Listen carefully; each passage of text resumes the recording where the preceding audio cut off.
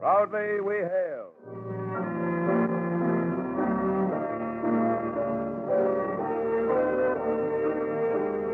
And now another Proudly We Hail, one of radio's outstanding dramatic half hours, starring Lee Tracy and presented transcribed by your Army and your Air Force.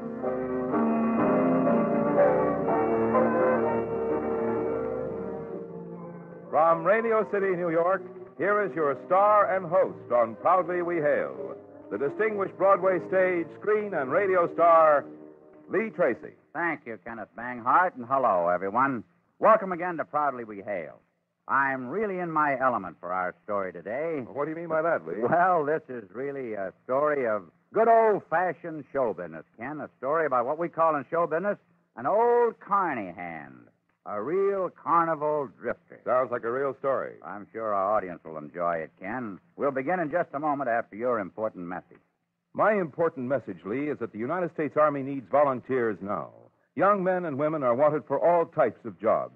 So help keep America strong by enlisting for active duty right away.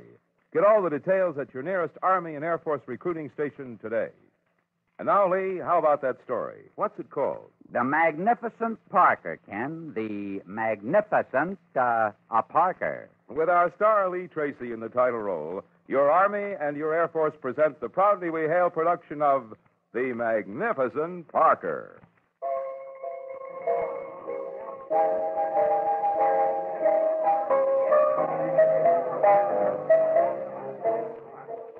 Friends, uh, one and all, uh, may I have your indulgence for just a moment?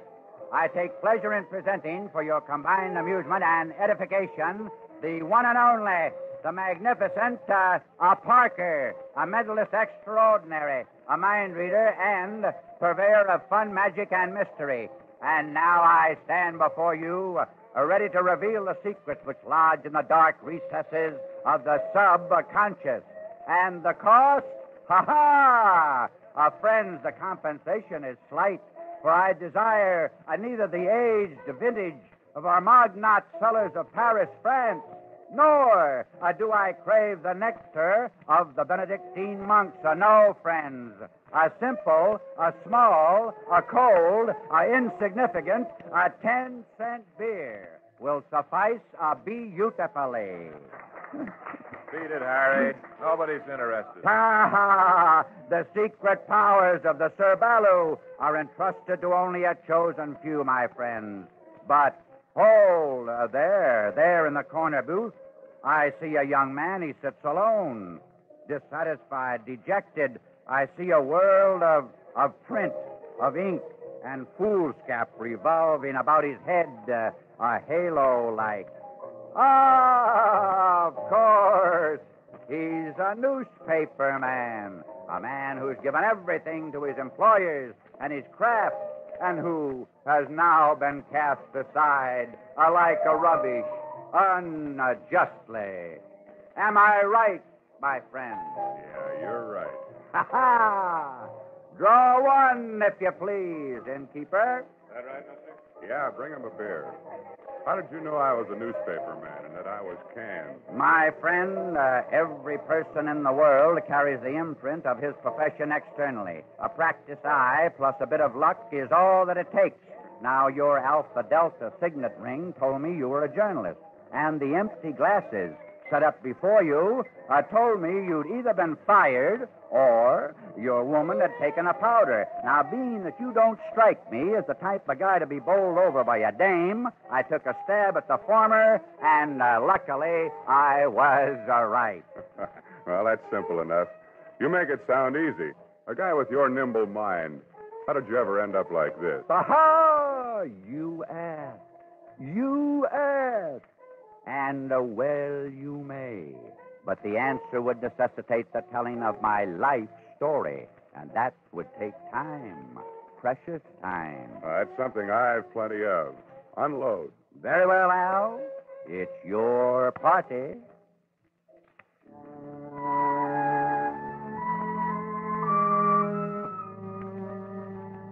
I don't suppose you've ever heard of the Magnificent Parkers? No, I don't suppose. We were a mentalist act. Nothing shoddy like carnies, We played the big time. We were tops in the line. We did nothing but vaudeville and private engagements. Dory, my my wife, was my partner. Believe me, we were a sensation. Ah, life was good to us in those days. The act was a hit. We had money coming in, and we loved each other. There was just one thing we lacked. And then, one day, even that prayer was answered. I'll never forget how I rushed to the hospital and that long, lonely wait in the corridor. Mr. Parker, Dr. Harris will see you in his office. Yeah, is, is, is Dory all right? Dr. Harris will see you, Mr. Parker. Yeah. How's my wife, Doctor? Now, when, when can I see her? Mr. Parker, your wife gave birth to a beautiful baby girl. But, Dory, can I go to her now? I'm afraid, Mr. Parker, that you can't. Oh. Oh, no. No. Oh.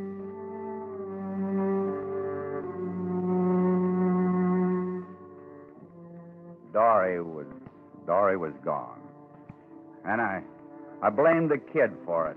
I drew all the savings we had out of the bank and I carried my daughter straight from the hospital to an orphan's home up in the country.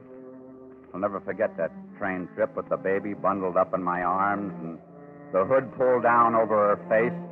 I didn't dare to lift up the hood and take a peek at that face. I guess I was afraid I'd see Dory there staring up at me. or, well, or something.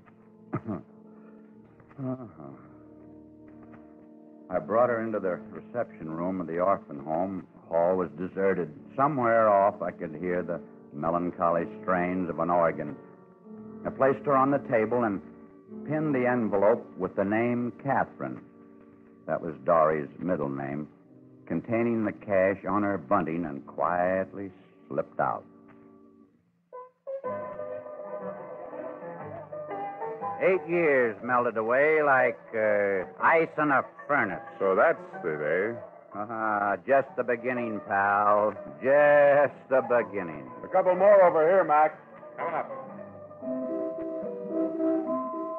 Well, I found myself a head talker in a cheap tent show down south. Nickel nurser by the name of O'Hara ran the show. He was only one step ahead of the law and two behind his creditors. Mostly the pack of us worked strictly for laughs. I left the mentalist routine back with Dory, and I, I wouldn't have anything to do with it. I made myself content with my life as a grifter. But I never could quite forget that little bundle I'd left in the orphan's home. I started feeling something in the back of my mind, a plan that maybe the kid and I could be reunited and I could do something big for her. It was these kind of dreams I was having the night it all began. Yeah, the beginning of the end for me.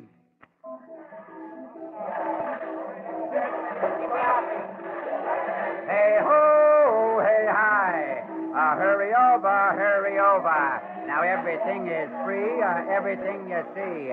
Now gather in a little closer, gents, and keep that midway clear. Now first I want to call to your attention the amazing, fantastic, exotic attractions are now due to start within the confines of the five in one tent uh, directly uh, behind me. Uh, hurry, hurry, hurry. Go away, Billy. Go away, will you? Not during my pitch. Somebody here to see you, Harry. He's an old geezer dressed to kill. Must be worth a million bucks. What's he want with me? I don't know. You better go find out. He's waiting outside your car. Okay, Billy. Here, here. Take, take over, will you? Sure thing. Hurry, hurry, hurry, ladies and gentlemen. The giant five in one show is As I approached my flop, I saw the guy standing outside my door. Billy was right. The old boy was town and country. the McCoy. Have I the pleasure of addressing Mr. Harry Barker? Yep, that's me. I wonder if there's any place where we might talk undisturbed. Why, sure. Won't you step into my library? He was a heavy, small man in his early 60s, self assured, perfectly poised, sat down on the edge of my cot, and remained silent. Well, uh, what can I do for you, Mr. Now? Bolton. Miss- uh, Henry Bolton. oh, well, I'm pleased to meet you, I'm sure. There are people with special mind reading powers. And you, Parker, are one of those people. Well, now, perhaps, perhaps you're right. I know I'm right. I've spent a great deal of money tracing you down to this backwater, and I'm prepared to spend a good deal more to secure your services. Now, how much do you figure is a good deal more? I'm ready, Mr. Parker, to pay you $20,000 for five minutes of your great gift. Twenty thousand? Thousand? yeah, well, now, uh, what, what am I expected to do? You ought to read a mind for me. Re- read a mind? Oh, no. You find my proposition amusing? Look here, Bolton. What if I were to tell you that, that it was all a gag? I have no special gifts. That it's all a, a routine, a, a hype. I repeat, Mr. Parker, I've spent a great deal of money to find you because I believe you are the only man who can help me.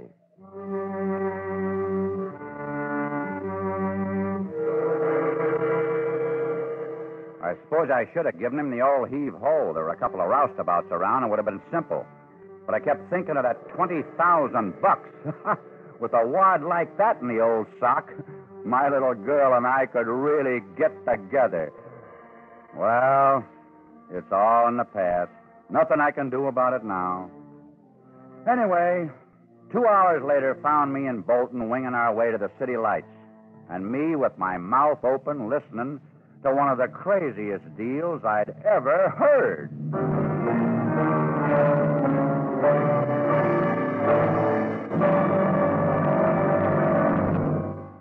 Lee Tracy, starring as Harry in the proudly we hail production of The Magnificent Parker, will return for the second act in just a moment. But first, here's a special message for Army veterans. Your past experience and know how are vitally important to the Army today. The vital mission to keep America safe and build its defense forces makes your contribution to its manpower needs doubly important. Yes, there's a great need for you in a great many critical military specialties. So why not help yourself and your country by offering your services now?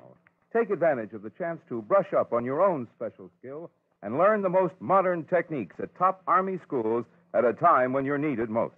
Your nearest Army and Air Force recruiting station will give you all the information. So, veterans, stop in today and say, I want to rejoin the United States Army. You are listening to Proudly We Hail. And now, with your star, Lee Tracy, we present the second act of The Magnificent Parker. Well, I'll tell you. I'll tell you something about people, Al. The smarter they get, the dumber they get. Now, you take this guy Bolton. Here's an intelligent man with every benefit that culture, education, and experience can give him. Going for this mentalist business, hook, line, and sinker.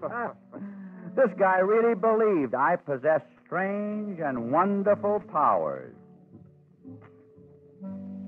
Anyway, I found myself on that airplane heading for New York, listening wide eyed to this guy's pitch. I'll give you the picture briefly. Gerald Reisling, the multimillionaire, was killed in an automobile accident some years ago. He had made a bad marriage and was legally separated soon after his daughter Cynthia was born. He was granted custody of the child, and upon his death, it was discovered that he had left his entire estate, valued at some seven millions, to Cynthia in a trust fund. Having been Gerald's friend of long standing, I was appointed executor of the estate and guardian of the child.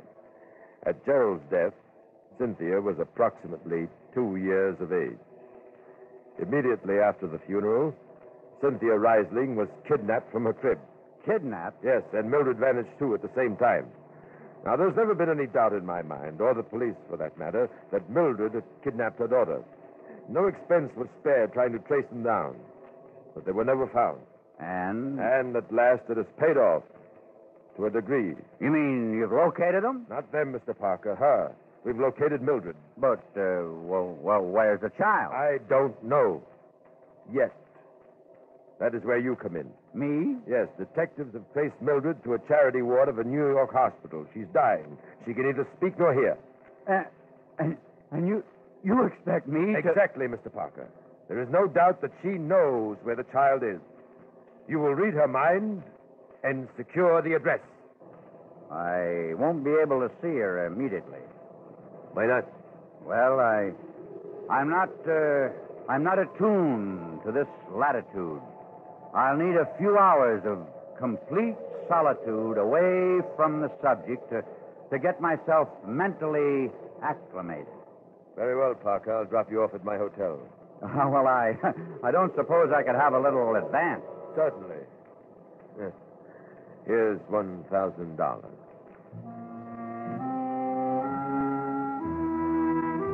I pocketed the grand gratefully. I needed that dough to buy a few things. When we got to the hotel, Bolton accompanied me to the desk clerk and gave him authority to let me use his key. He left then for the hospital and told me he'd send the rolls back in two hours. I hurried up to his apartment. It was a gorgeous duplex layout. I quickly got on the phone, and had him send up a bellhop. You sent for me, sir? Yeah. Here's a hundred dollars. Now take this pencil and paper and write down what I say. I want you to get me a surgical gown and cap, a stethoscope, a pad of four by five paper, and a crayon pencil. You got it? The boy was back in less than an hour, and I spent the rest of the time concealing the equipment on my body. When I finally put on my coat, stepped out of the hotel, and into the rolls, I felt a bit heavier, but not enough to be noticed. We sped to the hospital. When we got there, I found Bolton in the lobby. Well, Parker, are you ready? One moment. I must be with this woman alone. Only alone can I explore the innermost regions of her subconscious and conscious. Only hurry. There's not much time. She's very low. A nurse took me to Mildred's room and left me at the door. I closed the door quietly and removed my coat.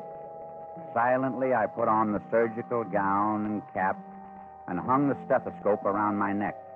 I saw an aged, lined, weary face with eyes staring miserably at nothing.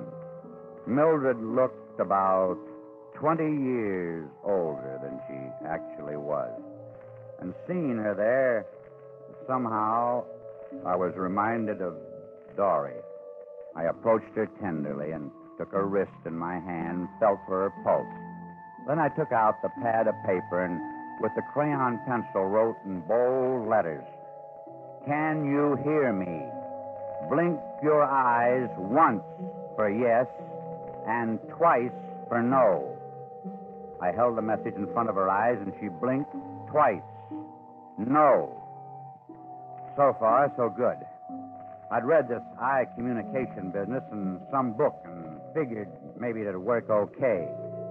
I didn't quite know how to phrase the next question. It, it was the payoff.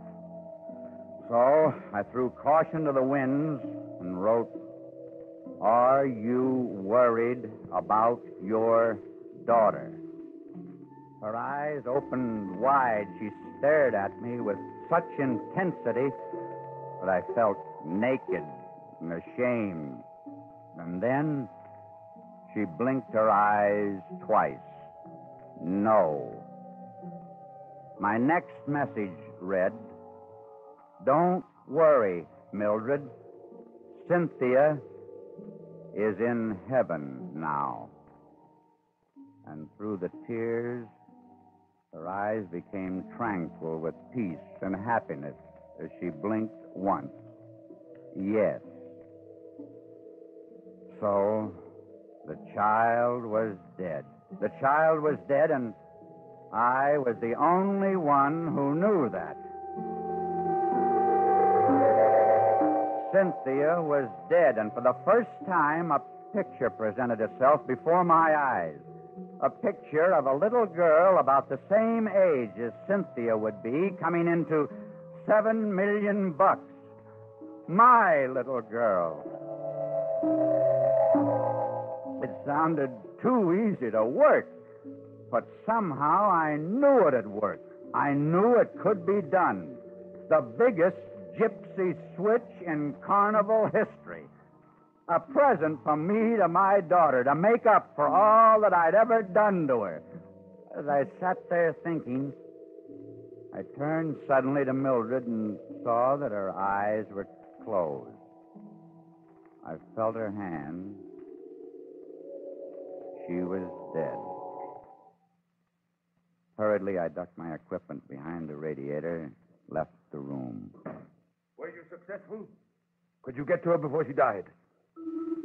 At first, there was a field with mountains in the distance, and then I saw a house, a, a large house, a mansion, with many children playing near a brook that ran alongside the mansion. And there were the attendants playing with the children, and I realized that this was an orphan's home. That's it. She's in an orphan's home. And then I saw a woman standing behind a large oak tree, hidden there and gazing at the children. But at one in particular.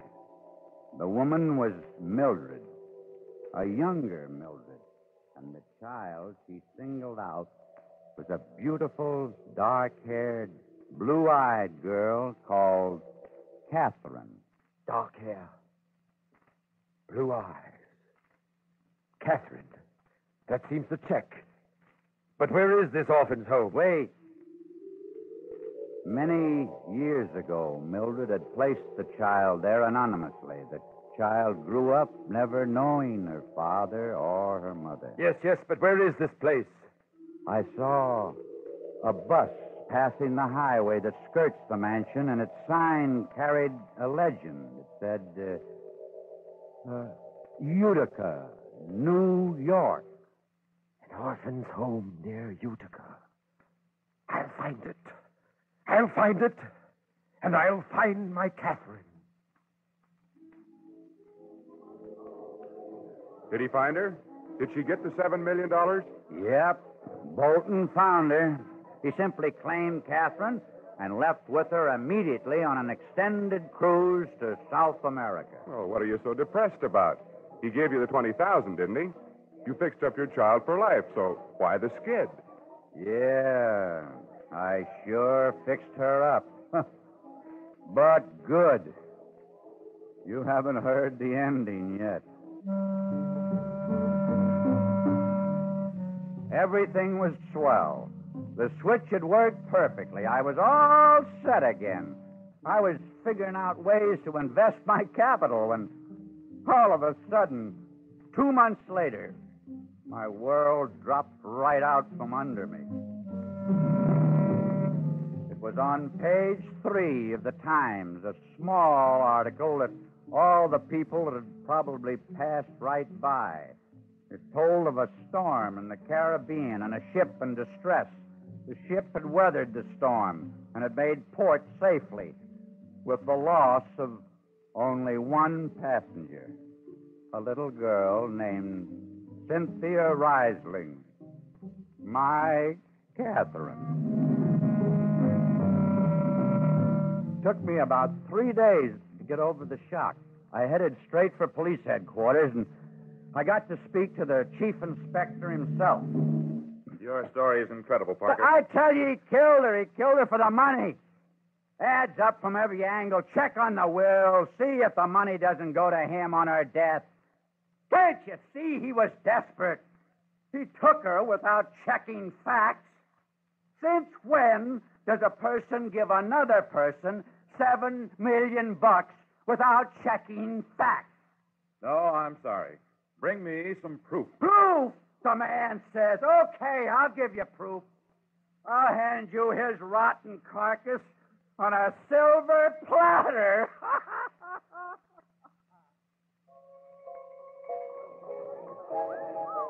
That's a tough break.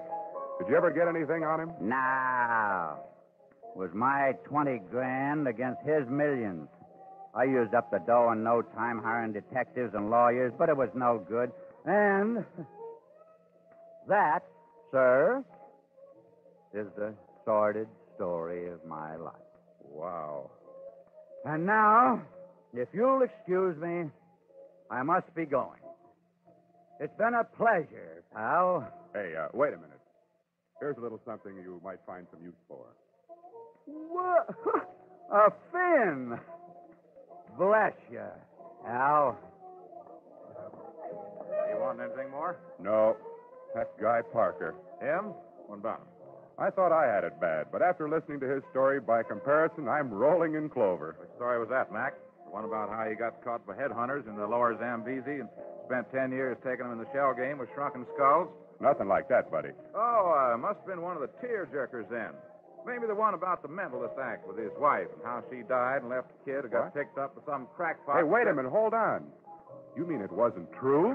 oh, true. You kidding? He's lived around here all his life. For your information, friend, you've been spending the time of day and your dough on Harry the Talker, the smoothest shovel artist this side of the Mississippi. well, I'll be.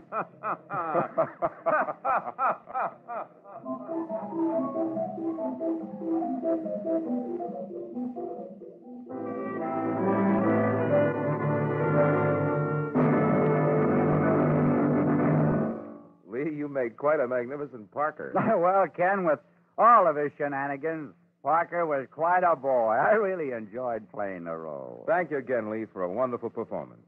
Mr. Tracy will be back to tell you about next week's show in just a moment. But first, I have a few short words to say to the young men and women of America, both to veterans and to those without any military service. You can learn new skills and get the best in technical training while you wear the uniform of the United States Army. There are real openings for ex servicemen and women, as well as for all the young citizens of this nation. You can help both your country and yourselves. Many of your friends have probably enlisted already, so why not join their ranks in one of the finest of all professions, that of the American soldier? You can get all the information at your nearest Army and Air Force recruiting station. Join the Army today. Volunteer for an Army career.